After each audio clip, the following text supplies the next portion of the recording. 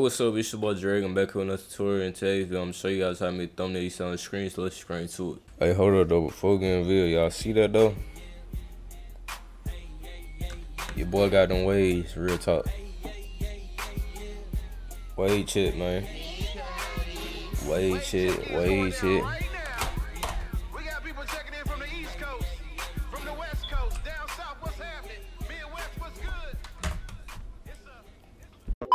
So the first thing I want to is go open the Photoshop, then go to File, New, and pick 1280 by 720.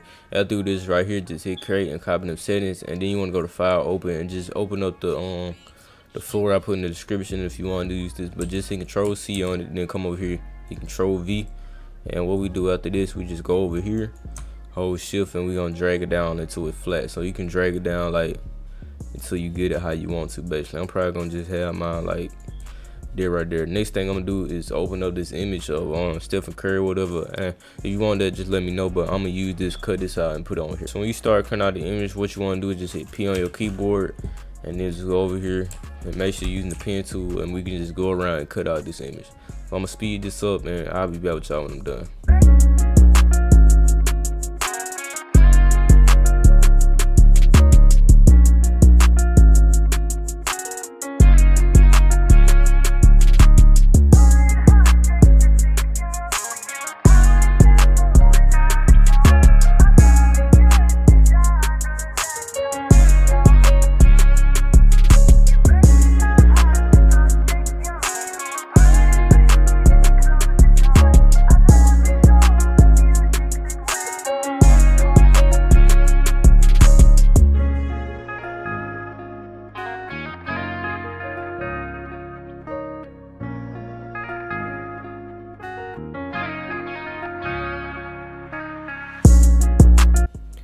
Alright, so once you get done to the cutout, just connect dot right click, make selection, boom.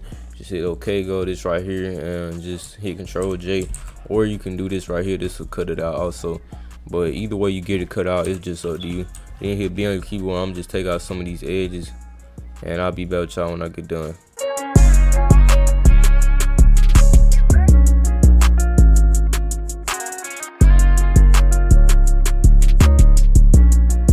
So once you get done fixing up the cutout, you can go over here, brightness and contrast, and then just or the brightness on the image like so.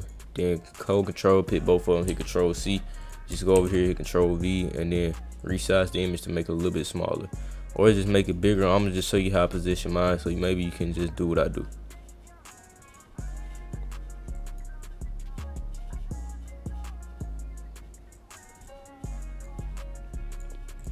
Alright, so once you do this, just make a new layer under this, hit B on your keyboard, and we're gonna go over here to the color black.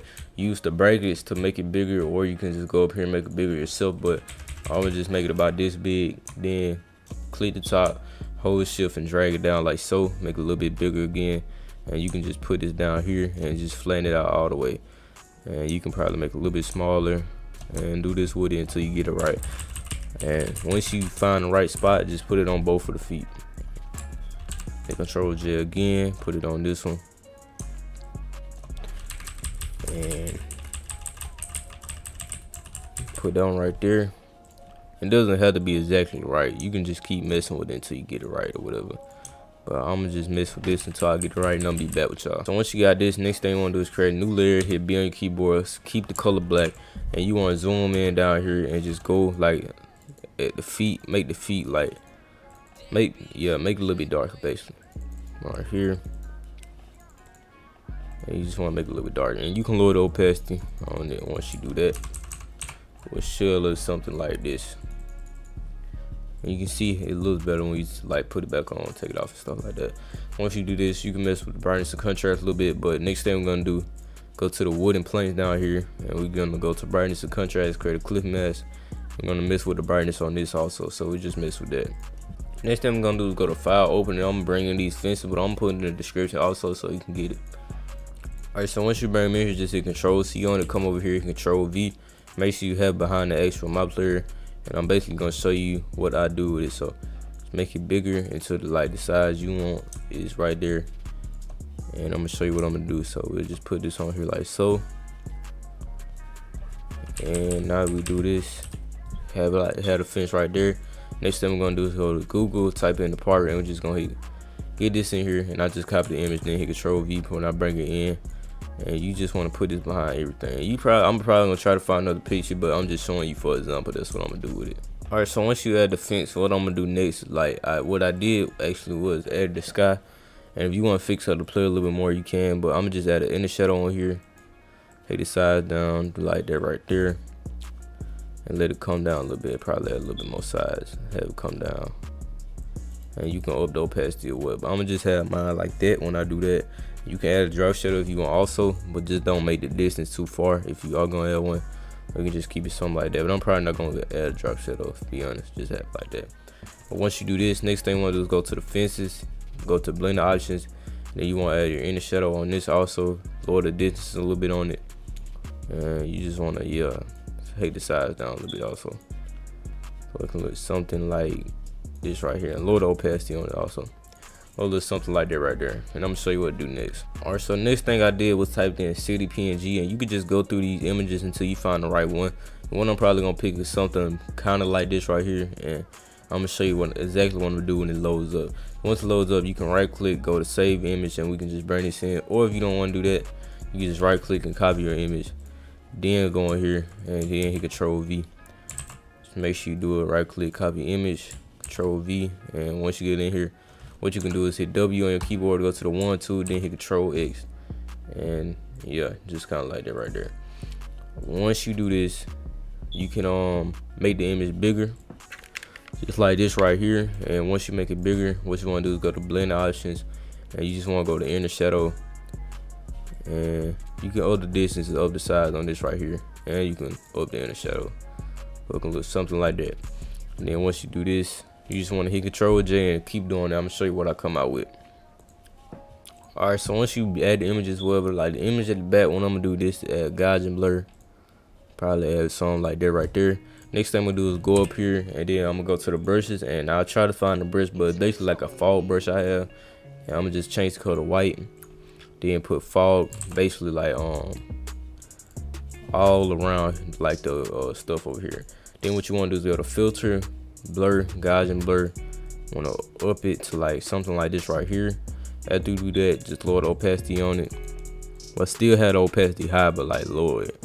So it should look something like this right here and i'm gonna show you what i'm gonna do after that. All right so next thing i did was type in airplay png and you can find whichever one you want now like i say you can um, right click copy image or right click save the image but i'm just copy it try it out like this cut it out and i'm gonna put it in the back and i'll let you know how it comes out. Okay so once you have it in the back where you want it you just have it um going somewhere like that.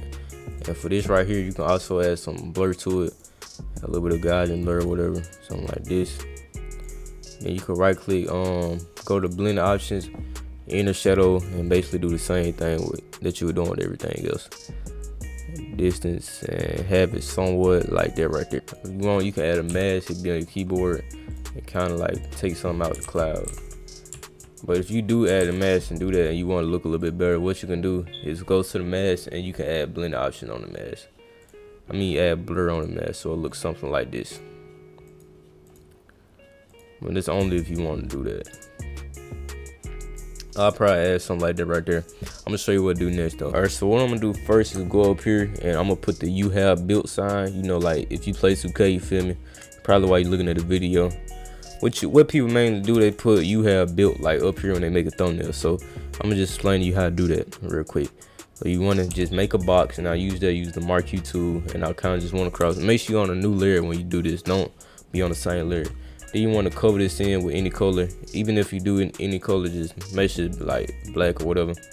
And then you can lower the opacity on the box. So it should look something like this right here.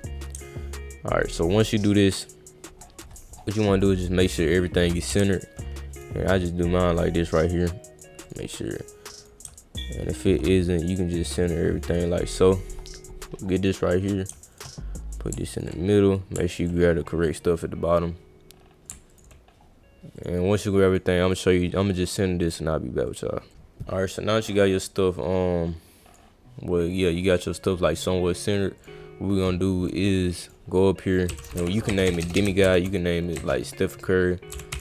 but basically just name it something that's like kind of clickbait. It's your video, but that's what I would do. So I'm gonna just go up here and I use that doing the horizontal type tool. You can hit T on your keyboard or that too, but I'm gonna resize this and I'm gonna be back. So I just go up here, pick my font, and then after I do this, what you well what I would do is just go over here, pick the italic version, go up here my color, and you could either choose the color white if you want to do the color white, or you can go like the regular color they use when they doing the build. So you just go with something like this right here, make it a little bit bigger. And just make sure you center it so it'll be something like this. Once you do this right here, go up here, blend options, and what I would do, you can either drop shadow, take the size off, or you can either go down here and just do it like this. Do it like this, and you'll have something like that if you just want to do that. It'll be simple. Alright, so next thing I'm gonna do is try to show you how to do the badges and stuff down here, and I'll be back with y'all when I do that. Alright, so basically what I'm add right now is just this right here, and I use the text, and I'm gonna just put you have built put the color white up here. And I'm gonna just add that right there. And you can just have it like up there. If you want to take out the drop shadow you can but you won't really be able to see it. So you just keep it on but basically just have it like that. All right so basically what I added now I just went to Google look this up and I just looked up NBA 2K22 builds when I looked this up I just cut it out with the marquee tool like so. And I made two of them grouped them and as you can see that's just how you cut it out but I grew them with the blend options, add a drop shadow on it, and I'm gonna do that for a couple more things, and I'm gonna just show you how to do it when I make it. So what I'm gonna do now, just go to the marquee tool, make a new layer, and I'm gonna make like a box type shape, and hold shift when I make it. So I'm just make a box real quick. Go to hit G on my keyboard and have like the color black. Once I do this, I'm gonna just hold shift and scratch it out a little bit. So I scratch it out, just center it right here. Then I can lower the opacity. I'm gonna just add stuff inside of it.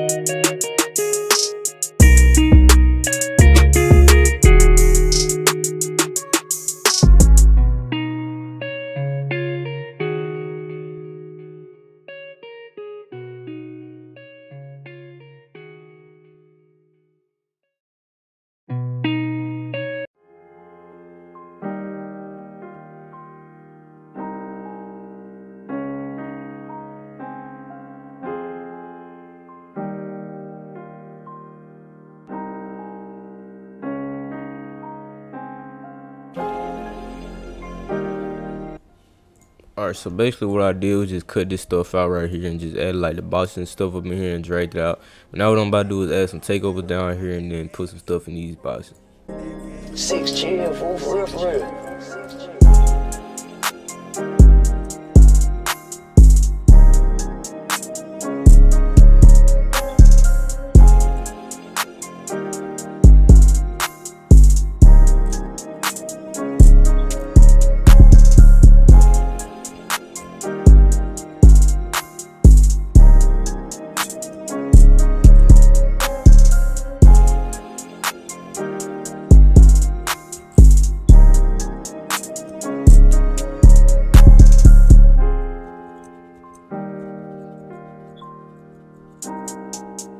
Okay, basically what I just did was add the takeovers in there, and now I'm just add stuff in these boxes, probably some words or something, but I'll show you what I add if I do.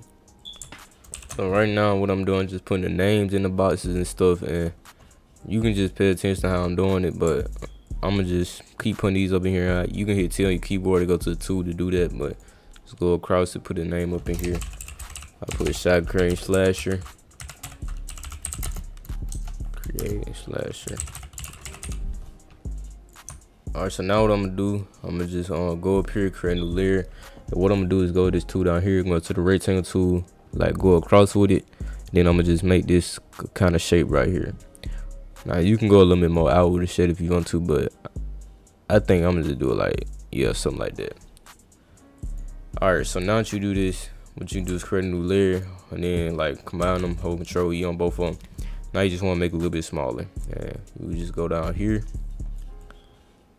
and when you go down here what you can do go right click blend options and then go to color overlay and what we're gonna do is basically put like um this color right here hit control J put another one so we go back in here Pick this color. Like so. Then go back in here, hit control J, and then we put one more. So just have it like this. So the other color we'll pick, we'll just have it like this right here.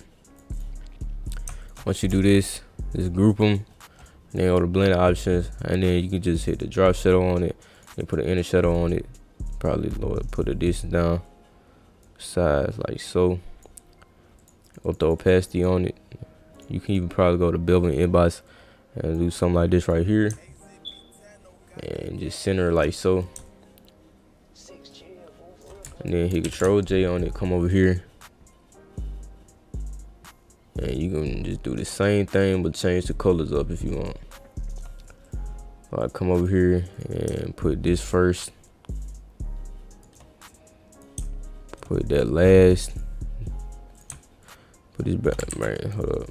Then bring this back to the middle right here. And you can just follow what I'm doing so you can understand what I do. Let's put this blue up in here gonna be something like that. And you can hit Control S when you're done with it if you ain't save your work yet. So once you're done with this, I'll show you what to add over here also. Alright, so what I'm gonna do now is put this green splash over here and I'm gonna show you what I'm gonna put on the other one. Alright, so over here, I'm gonna just put this and I'm gonna kind of like line it up with the same size as that right there. And put it over here. Want to get the same length so it looks something like this.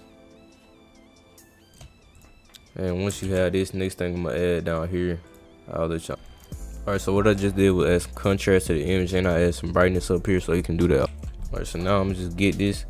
Went to the marquee tool, went over, then hit control J on it to get these two right here. So I'm just get these, come over here, then hit control V when I take them. And what I'm gonna do is actually put these right here. And then come over here, put these right here, and I'm gonna show you what I'm gonna do with them. I'm gonna just take this out. and then create a new layer like so. Hit B on my keyboard again. Go to the brush tool. Go to the right brush. And just click on it like this. Hold shift go down. And then uh, like that. And you just want to put this on every layer so. Hold opacity and we could just copy it when we get done make it easier. Like that. And then clipping mask on it color black color. And after you get done with this you see control E on everything come over here. And you can do it like that basically. Now that you're done with that you can hit control S on the thumbnail. But you don't want to do that yet I'm gonna just show go ahead and show you what to do now because I'm basically done with it a layer up here go to the color black and you just go around like this. And you want to go around the whole thing. Uh, you can add soft light to it. Lower the opacity on that. You control J. And you can go to normal. Then he control J on this. Then he control E. Marquee tool drag it like that. He control J again.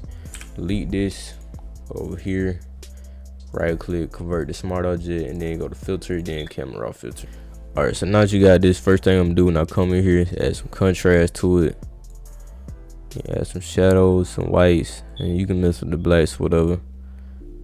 And you can add some highlights if you want to also. Um, up the texture like this. I'm not gonna mess with dehaze or nothing or the or saturation stuff in here. And that's pretty much all you really can mess with. You can mess with the exposure also, but it's really up to you. Zoom in, you can see it. Then you hit Control J, go to filter, Gaussian blur over here.